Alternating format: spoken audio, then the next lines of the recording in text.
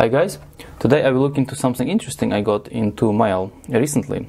So this is um, Omega 2 single board computer created by a company called uh, Onion and it's funded through Kickstarter. So Kickstarter campaign already finished and they, I think they raised about 600 uh, more than $660,000. It's a pretty successful campaign.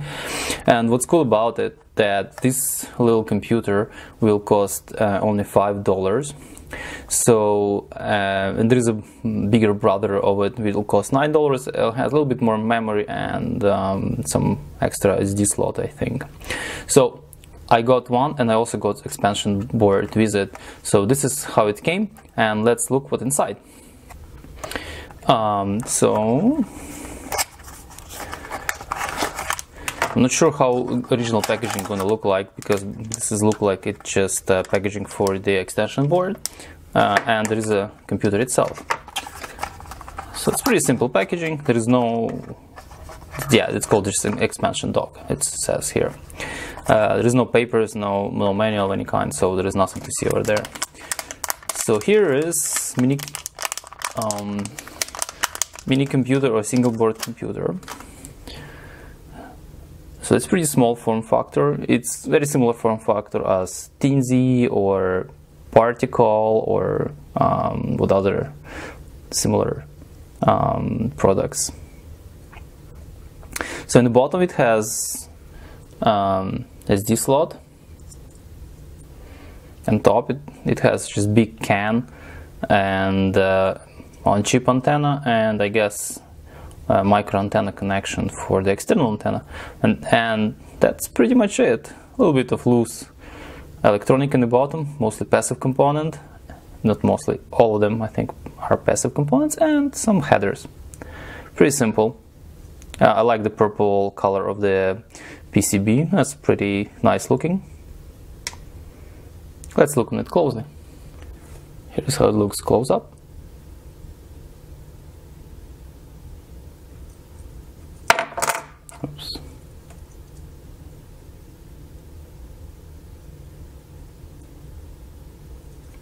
Very nice. So okay, so this is um, single board computer itself or Omega 2 computer and here's the expansion dock. So expansion dock obviously designed to uh, power this uh, Omega Omega 2 and by the way this is Omega 2 uh, Pro version because it has a little bit more memory and looks like it has um, SD slot uh, on the bottom. This uh, this guy gonna cost 9 bucks. So this is expansion dock and uh, Omega 2 goes just like that clicks in.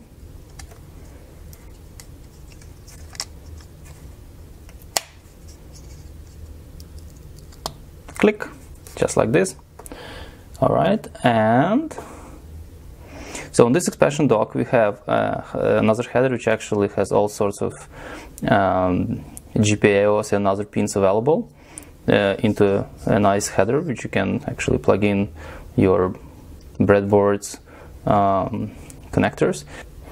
So expansion dock has USB 2 over here I think this is um, this mi, uh, mic, mini micro USB sorry is for debugging and powering. Uh, this probably reset, reset switch and this is I believe on off. So it has color LED. Uh, looks like it's color LED and I bet this is USB controller. Not 100% sure, but and there is uh, some power um, circuit. I guess for power regulation. Oh, by the way, this um, uh, Omega 2 computer it works with I think it uh, it works with 3.3 volts. So all output pins are and input pins are 3.3 volt compatible. So they are not 5 volts compatible just let you know. So out pins, pins probably not as big deal but if you're gonna apply um, some input signal to it make sure that it's 3.3 volt because I'm not sure if that's gonna handle 5 volts uh, nicely. So what is actually Omega 2 um, itself? So um, it is 580 MHz single core CPU of MIPS architecture. It is based on Qualcomm Atheros AR9331. Um, it has 64 megabytes of, RAM. Uh, I, I, have actually uh, two contradicting uh, um, sources in internet. One has 64 megs for regular and 128 for Omega 2 uh, plus version. So I said pro previously I meant plus, and uh, 16 for uh, Omega 2 regular and um, 32 for plus. But uh, other source says 64 in both cases, and difference only in 32 megs of memory and um, micro SD slot. So I have to do better research, but looks like that was what I could find. Uh, it has Wi-Fi. It supports BGN. Has 15 GPIOs, two PWM, uh, one I uh, I square C and one I square S um, outputs. And uh, looks like it also has serial here. It, they are mapped uh, over here. Uh, potentially they also parallel uh, used in the same USB, so it's not like a separate um, serial, but I'm not 100% sure. So this uh, without much reading, that's my assumption here. Uh, what I've read, so is that um, there are some libraries already available from developers. Uh, this is uh, C libraries and Python libraries to work with uh, I2C, I2S, and the GPIOs. Uh, so as well as Linux has some command line tools already available to control some uh, GPIOs uh, straight from the command line. So let's power this mini computer or single board computer and see how it what's happening. So this is essentially first time power. I never actually powered this thing before. Don't have anything set up for it. I just want to power it up and see how it's going to work. Uh, this is cable come goes to my laptop. And uh, it already started recognizing something with this device.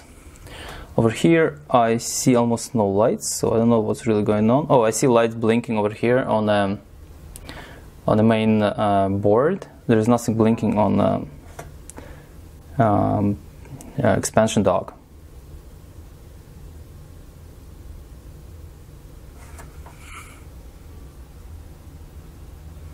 Uh, my Windows 7 failed to find any kind of drivers for this, which is probably expected because as I understand, have to install something extra on Windows, but this is just a straight up um, uh, Windows installation without any drivers, anything like that.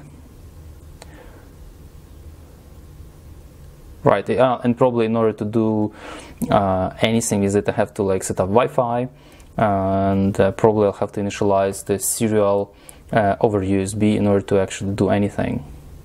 But this is just the beginning. Uh, let me see what this, this button does. Yeah, that's the power button.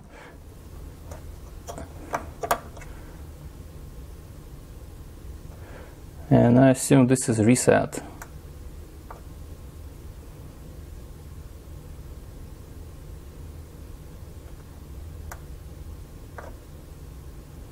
Eh, it doesn't do much really, this little button over here.